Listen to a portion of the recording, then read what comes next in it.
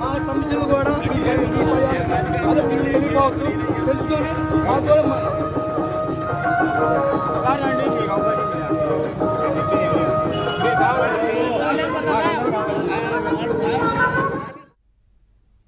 చూస్తున్నాం. రాజధాని అమరావతి ప్రాంతంలో మాజీ క్రికెటర్ అంబటి రాయుడు పర్యటించారు.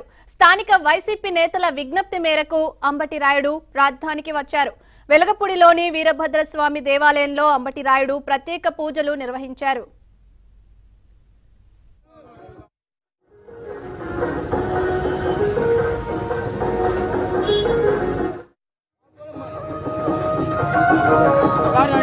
Thank you.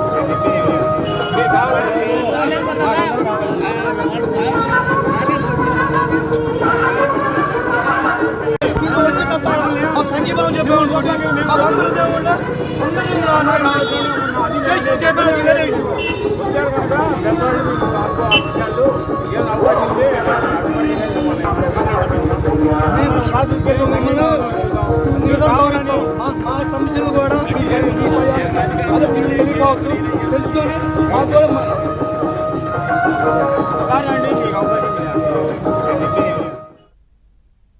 రాయుడు వచ్చిన విషయం తెలుసుకున్న అమరావతి రైతులు ఆలయం దగ్గరకు చేరుకున్నారు అమరావతికి సంఘీభావం తెలపాలని అంబటి రాయుడును రైతులు కోరారు తమ ఉద్యమానికి మద్దతు ప్రకటించాలని రైతులు కోరారు జై అమరావతి అనాలని రైతులు విజ్ఞప్తి చేశారు మాకు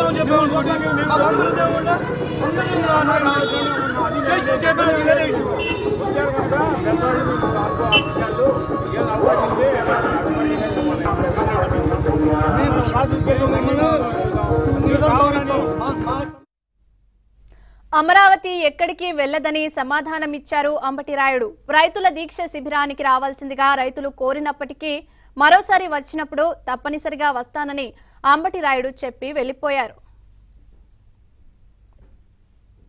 ఇక ఇదే విషయానికి సంబంధించి మరిన్ని వివరాలు మా ప్రతినిధి సత్య లైవ్ ద్వారా అందిస్తారు. సత్య అప్డేట్స్ ఏంటి?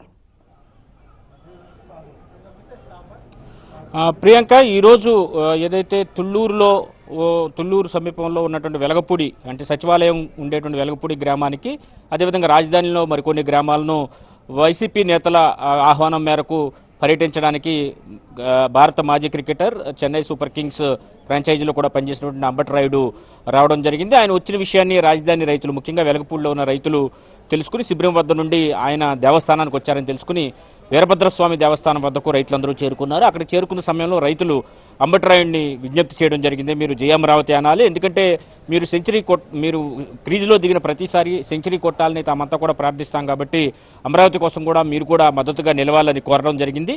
దీనిపై అంబటరాయుడు అమరావతి ఎక్కడికి వెళ్ళదు అని మాట మాత్రం అన్నారు. జయామరావతి అయితే అన్ అనలేదని చెప్పి రైతులు చెప్తున్నారు. అమరావతి ఎక్కడికి వెళ్ళదని ఆయన చెప్పిన తరువాత కనీసం శిబిరంలోకైనా రావాలి అని చెప్పేసి వారు విజ్ఞప్తి చేసిన నేపథ్యంలో వీరభద్రస్వామి గుడికి చాలా కూతవేడి దూరంలోనే శిబిరం కూడా ఉంటుంది. అయితే మరొకసారి వచ్చినప్పుడు తప్పనిసరిగా వస్తానని అంబటరాయుడు చెప్పి అక్కడి నుంచి వెళ్ళిపోయిన పరిస్థితి. అయితే అంబటరాయుడు రాకను గురించి తెలుసుకున్నటువంటి రాజధాని ప్రాంత రైతులు మహిళలు అందరూ కూడా వీరభద్రస్వామి దేవస్థానానికి చేరుకున్నారు.